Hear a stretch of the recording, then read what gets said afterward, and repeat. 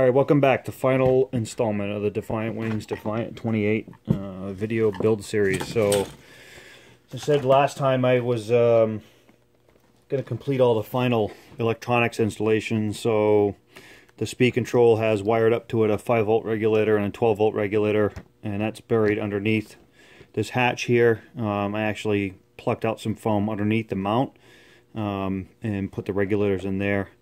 And you can see I wired on some LEDs there in the back. Um, they're just 12 volt LEDs. That's why we needed the 12 volt regulator. So um, these are just these are just red here. I'll, uh, see. So in flight, these look these look really cool. Um, battery strap here. I just positioned um, a slot uh, kind of right in the middle of the battery bay. Uh, I drilled a hole here and a hole here, a hole here and a hole here, and then I use my Dremel. Um, you can use uh, an X-Acto knife to cut slits. Just keep scoring and scoring and scoring, and eventually you'll get through there. Um, the final, let me um, power it on with the receiver so I can show you what the final reflex kind of looks like. Um,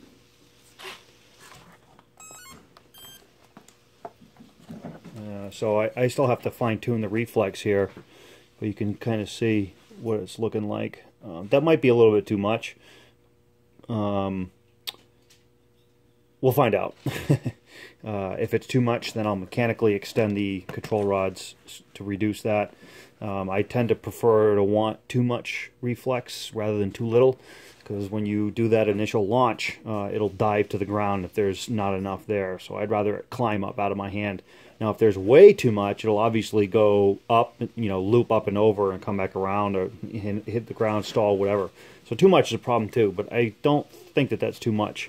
I have to go, I can go check my other one too, um, my prototype. Uh, that's perhaps what I'll do. Um, the um, winglets here, um, I just used some of the, some Goop E6000. Just put a bead on there, uh, stick them on, and then I've got these. I don't know if you can see them in there, but the T, uh, not T-pins, little little pins, like sewing pins almost. Um, I may or may not leave those in there. I prob probably will just leave them in there. What the hell? Um, but you know, I press the um, I press the uh, winglets on. You don't want a, a, lot sticking out ahead of the wing, just a little bit or even flush. Um, and just get them both even. Um, I use the lines. You can see the lines running in the um, coroplast, and I just kind of judge that on the against the bottom of the wing wing surface uh, to get them both to get them both even. Right. Um, I hot glued the camera in last. Um, so I got the whole thing built up as if it were flying. Put the battery in. I fly all mine with these. Uh, these are old Ubad four cell 75C 1800s, uh, but they're made they're made by Tattu.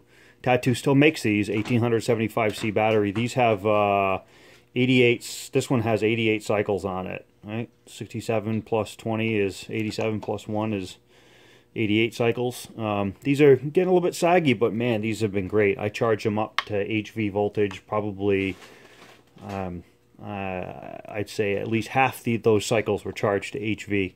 Um, so these were great. Um, I think you can you can get these from Tattu for like 32 bucks now. So that works out to something like 15 cents a flight or something like that. Maybe maybe 30 cents a flight. I have to go back and do the math again. Um, perfect amount of weight, 200 gram battery. Um, this this bird here, um, production version with the battery bay placement where it is. Uh, I believe it's about quarter inch, three eighths ahead of my prototype. So my prototype battery bay is a little bit further back. I cut this motor mount up an additional half inch. This thing balances as, at about 4.4 inches you see the marks here. So this forward mark is 4.375. The back mark is 4.625. So 4 and 3 eighths and 4 and 5 eighths. It balances right around, right behind the 4 and 3 eighths mark. So about 4.4 inches-ish. No, no nose weight. Beautiful as far as I'm concerned. I think this wing is going to handle great.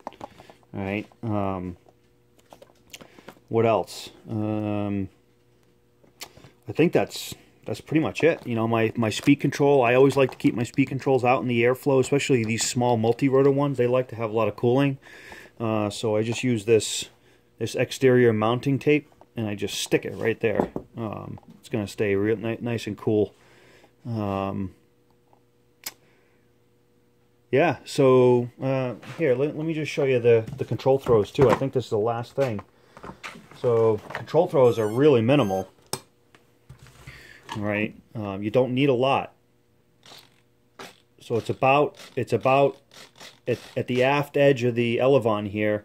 It's about a half inch total back and forth. So quarter inch up and quarter inch down. That may not look like a lot of down down down there, but that's plenty. That's going to make it pitch plenty uh, in uh, go you know going negative. So nose down pitch. Um, those are some of the aspects you're going to want to tune in flight uh, to get it to fly the way you want. Um, I notice on my prototype, um, if I'm if I'm inverted and I, I give it a lot of down elevator to do an outside, you know, a climbing outside loop, if I give it too much, the motor torque will dominate and it'll start rolling with that motor torque. Um, it's just a characteristic of the wing if you're pitching it too far up. This the, the airfoil on this is a semi-symmetrical airfoil and it's it's a higher lift airfoil and so it's going to turn positive G's it's going to turn really good I mean it, it just turns on a freaking dime you know when you're pitching like this uh, it, it turns really hard and it's really difficult to get it to stall out um, and snap out on you it, it's really great um, but the other way, uh, you just got to take it a little bit easier. It wasn't really designed for that, you know. Um, Sean originally designed this thing to be a small, longer range cruiser, you know, at at half throttle or below on a good healthy pack, this thing will fly 10 plus minutes. But I mean, you're looking at possibly up to 15 to 20 minutes if you're nursing the throttle along. Um, so it's got a, it's got a lot, lot of legs. Um, that's it. I want to thank you for watching the video series if you stuck through it this far. Um, let me know if you have any comments. Thanks. Bye.